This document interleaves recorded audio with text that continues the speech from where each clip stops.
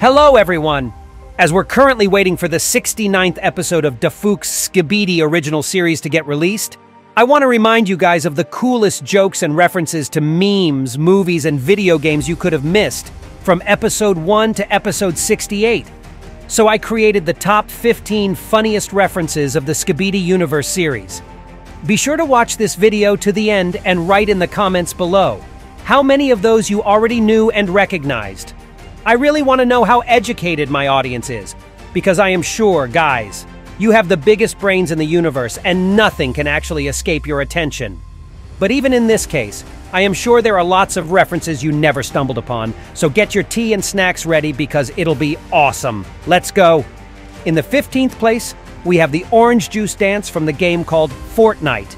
Yeah, you probably never heard of that one as it's really little known and niche. Just kidding. This reference got to be pretty popular amongst the fans of Skibidi toilets, especially in the time when earlier seasons had been coming out. Those dancing speakermen became one of the fans' favorite little gags in the whole series. And I can't really blame you guys for that.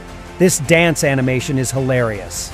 In the 14th place, we have the noisy, celebrated appearance of Jesse Pinkman and Walter White characters that came to visit us straight from the Breaking Bad series.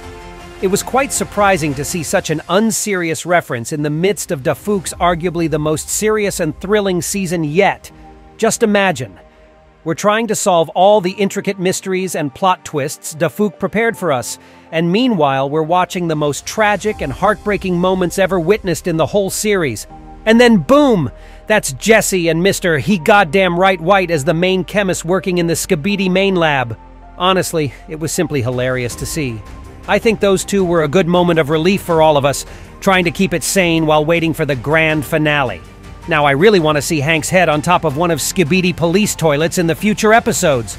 In the 13th place, we have the iconic plungerman pose from the beginning of episode 50, as he walks slowly towards the giant vacuum Skibidi urinal, spewing the billow of flame out of his open mouth. This is the reference to the cover art of the game called God of War 2, where Kratos also walks with his face turned away from the camera, holding two prolonged weapons in his hands. Also, this may be the reference to this one God of War art in specific, where Kratos is slowly moving in the direction of large sun with the color of lava, with the bunch of enemies seen around. Looks quite familiar to me.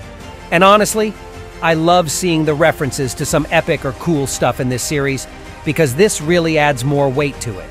In the 12th place, we have the Andrew Tate Skibidi toilet that can be briefly seen in episode 17, the infamous bald head with the smirk, and which is more important, the iconic black sunglasses covering half of his face. And mind that, guys, Andrew Tate Skibidi did wear glasses long before TV men with their glow appeared in the series. This dude was kinda ahead of his time here. In the 11th place, we have two little references. The first one was spotted by me in the third part of episode 67, when the Titan TV man epically appeared to confront Skibidi Scientist. Before his physical emergence, we hear the intimidating sound coming from the vortex of black haze with thunder, which is the reference to the movie Godzilla, and more specifically, to the scene where the monster appears in the environment full of rain and thunder, ready to shoot with the energy it gained. During that scene, we can hear almost the exact same sound, which is so freaking cool.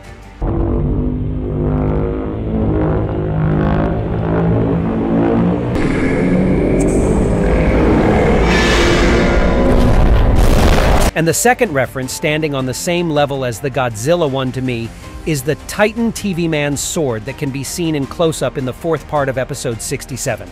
That sword and the rune engraved on it is the reference to the Optimus Prime from the series of movies called Transformers. In the 10th place, we have episode 15, where the sign on the remote controller POV presses on to cause an explosion, says, Baba Booey. For whatever reason, Dafuq himself has a really warm feeling towards this meme, it even appeared once more in the multiverse of Beatbox's Episode 2. It's written on the panel along with other quirky titles, such as Balls Torture, Destroy Obama, and DaFuqBoom, the title of the author's actual channel.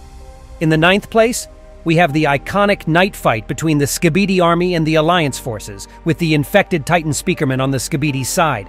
We saw him appearing in episodes 33 and 38 to sit on top of the skyscraper, which is not only cool as heck, but also a reference to the movie called King Kong that was shot in 2005. In this movie, the giant ape, who's similar to Godzilla in size by the way, was brought into New York to be put in circus, but it broke free and started a chaos on New York streets. The final of this movie is happening on top of the roof, and it's a pretty memorable scene for me. I think Dafuq liked it as well. In the eighth place, we have the first appearance of Big TV Man we could see in episode 40. He had a long body, multiple appendages with the TV screen on top of each, which also produced the eerie gray light, and he was dressed in a neat black suit. Besides, he had a really weird aura around himself that was so strong that it even scared Skibidi away.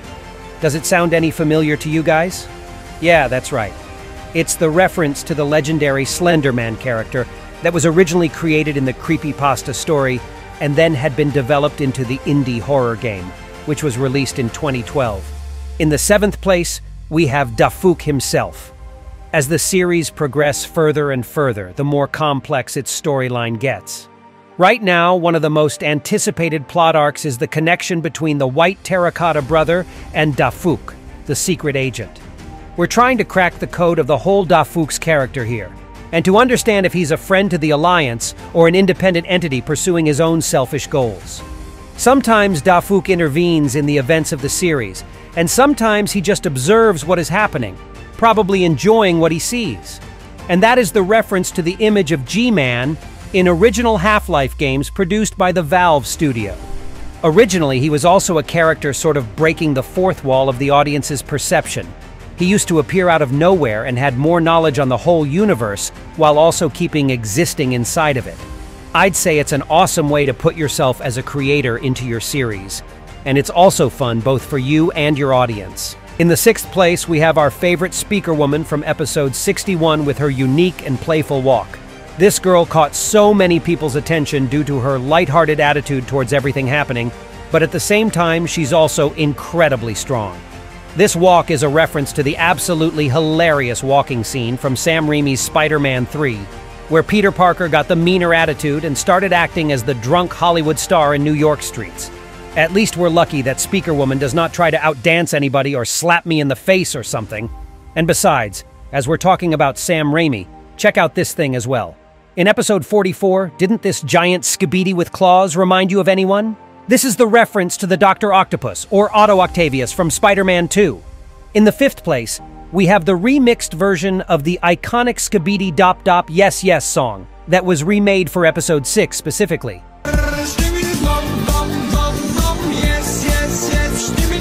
It sounds like Lady Gaga's Bloody Mary song, which is the reference to the Wednesday dancing scene, where the main character was giving her gothic everything on the dance floor. It was an unserious episode with multiple key characters in it, and it made a lot of people laugh, including me. In the fourth place, we have the Penguin Zero Skibidi skin appearing in episode 61. Of course, this long-haired mustache guy with the glasses on it is a reference to the well-known content creator Moist Critical, who made a video on the phenomenon of Skibidi toilets on July 14th called What is Skibidi Toilet? Apparently, the attention from one of the most popular creators on YouTube flattered Dafuq, and he introduced the geeky Jesus Skibidi toilet as a form of gratitude.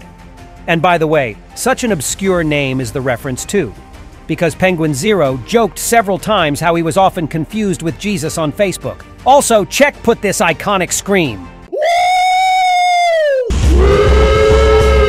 In the third place, we have episode 27 with multiple harmless Skibidi chilling inside the building. Then the door gets busted and the boost effect shatters the screen.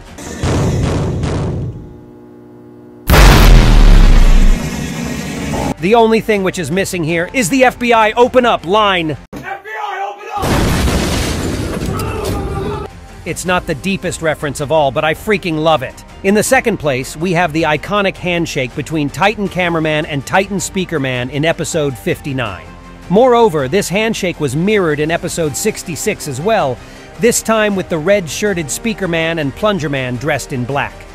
This is the reference to the well-known Predator meme, where two guys give each other a strong buddies handshake, where one of the guys in dressed in red. You son of a bitch!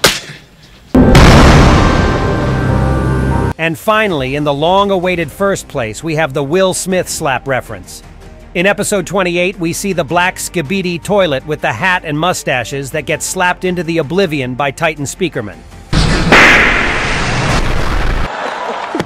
Oh, wow! The 28th episode got released in May, while the whole Oscar slap incident happened in March, where Will Smith punished Chris Rock, who was supposed to give him an award for the unserious attitude towards Will Smith's wife. I'm not really sure who this poor Skibidi is supposed to represent in this case, but I think Titan Speakerman simply avenged the Oscar Academy members that had to witness this whole mess one year ago. But it was a really good show for the audience, and as the cherry on top, here's the hilarious thing I noticed about Resident Evil 7. Yeah, I know it came out in 2017, but look, doesn't this doll's head in the toilet remind you of anything? I think it was a sign. And that was it for today's video. If you enjoyed it, please hit the like button under this video, as I always appreciate your support. And be sure to subscribe to my channel not to miss my new videos. And that was me, ISO Toilet. See ya!